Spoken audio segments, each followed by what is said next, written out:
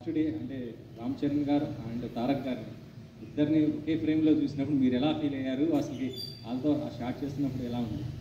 First day of shooting అంటున్నారా? మీరు వీళ్ళిద్దరు ఇద్దరిని కలిపి. వాళ్ళిద్దరిని నేను first day of shooting first shot తీసింది ట్రైలర్లో ట్రైలర్లో షాట్ లేదు బట్ సిమిలర్ షాట్ ఇద్దరు బైక్ మీద వచ్చి వచ్చి షాట్ అది.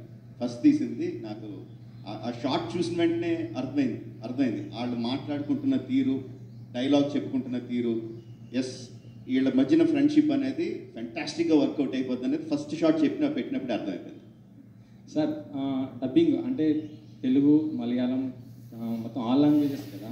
సార్ మీకు ఏ లాంగ్వేజ్ ఏమైనా ఇబ్బంది అయిందా తారక్ గారు అంటే డబ్బింగ్ చెప్పు నాకండి అవును సార్. మలయాళం చెప్పలేదు. తెలుగు కన్నడ హిందీ అండ్ తమిళ్ చెప్పడం జరిగింది. మలయాళం ఏంటంటే ప్రయత్నించాం.